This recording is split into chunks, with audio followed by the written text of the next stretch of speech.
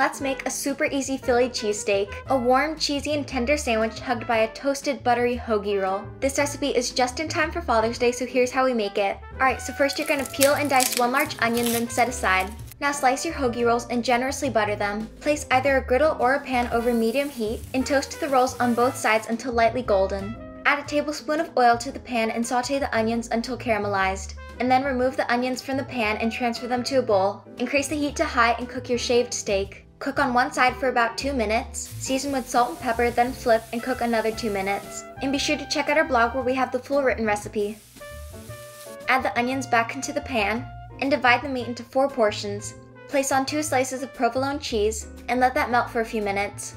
And while the cheese is melting, spread mayonnaise over both toasted sides of the rolls. Place each portion into the bun, and now you're ready to serve. If you guys like videos like these, be sure to share, save, and follow for more.